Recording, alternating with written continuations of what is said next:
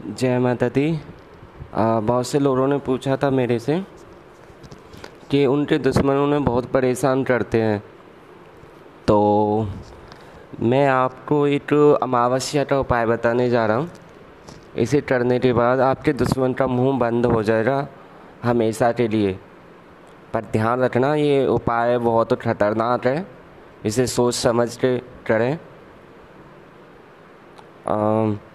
सामने वाले पे ये बहुत गहरा असर डालेगा। और एक और चीज़, इस उपाय को करने से पहले मेरा पेटीएम नंबर दे रखा है इसमें।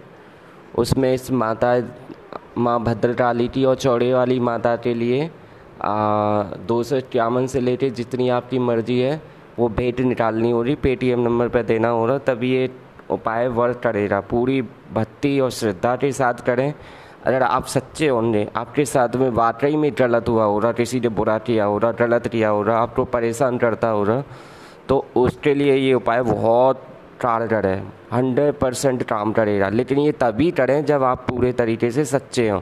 अगर आप झूठे हुए और फालतू में किसी को सता रहे हो तो ध्यान रखना, ये आपका उल्टा ही सर्वनाश कर देगा।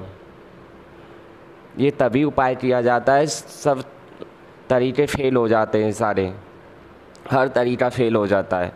जब कोई आपको परेशान करने की सारी हदें पार कर देता है, तब ये उपाय करना, और ये इतना खतरनाक उपाय है कि तीसरे दिन से ही असर दिखाना शुरू कर देता है। अमावस्या के दिन शुरू किया जाता है।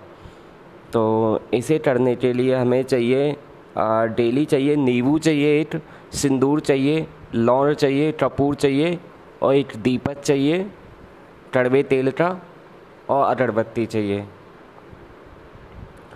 और माँ काली से प्रार्थना करें, दीपक जला के अगरबत्ती जला के और बोलें, हे माँ काली आपको, आपके बेटे नरेंद्र की आन है, आपको महादेव की आन है और गुरु गोरखनाथ की आन है। आप हमारा ये काम सिद्ध कीजिए, हमारे इस दुश्मन का मुँह बंद कीजिए। लेकिन फिर बार बार लौट के कह रहा हूँ, ये उपाय बहुत ही खतरनाक है। सोच समझ के करें, गलती नहीं होनी चाहिए। ये माता शमशान काली का बताया हुआ है, बहुत ही खतरनाक है। इसमें मैं मंत्र अभी नेक्स्ट वीडियो में बताऊँगा। अभी नहीं बता सकता मंत्र एकदम से, क्योंकि लोगों का कोई भरोसा नहीं है। अगली नेक्स्ट वीडियो होगी मेरी, उसमें बताऊँगा मैं मंत्र। आप सच्चे हो, अपनी जगह पर सही हो, तभी ये उपाय टारगर हो रहा, वरना आपके ऊपर उल्टा इफ़ेक्ट डालेगा। और एक और चीज़, जब तक आप दक्षिणा नहीं निकालोगे इस दरबार के लिए दो सौ इक्यावन से लेके आपकी जितनी भी श्रद्धा है, सच्चे दिल से करोगे अमावस्या से शुरू करना है, ग्यारह दिन तक करना है लगातार।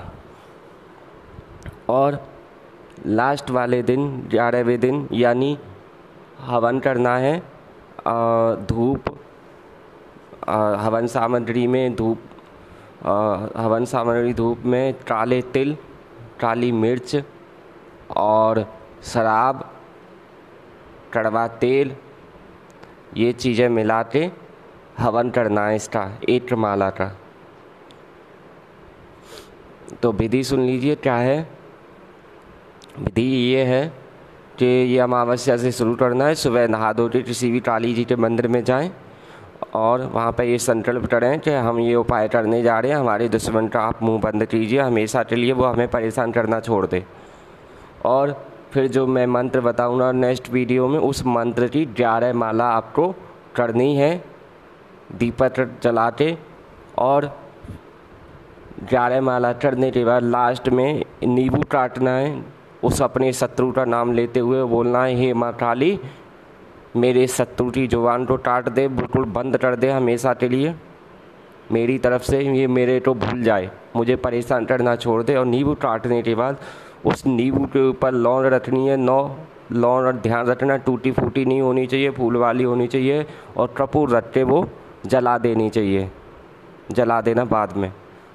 और ये सारी जो भी पूजा की वेस्टेज सामग्री सामग्री है, इसे इकट्ठे करते जाना और किसी भी नदी में प्रभावित कर देना। ध्यान रखना, ये उपाय बहुत खतरनाक है, भारी भी पड़ सकता है, उल्टा भी पड़ सकता है, अगर आप झूठे हुए, बेईमान हुए तो। किसी को नाजायज़ तरीके से परेशान करोगे तो ये हमारा बताया हुआ उपाय, मैं शमशान ट्राली को जो, शमशान ट्राली ने जो बताया था हमें, वो सर्वनाश कर दे रहा आपका बहुत भारी पड़ेगा आपके ऊपर, ध्यान रखना। ये बहुत खतरनाक है, इसमें कोई भी चूट या भूल नहीं होनी चाहिए, ध्यान रखना। जय माता दी।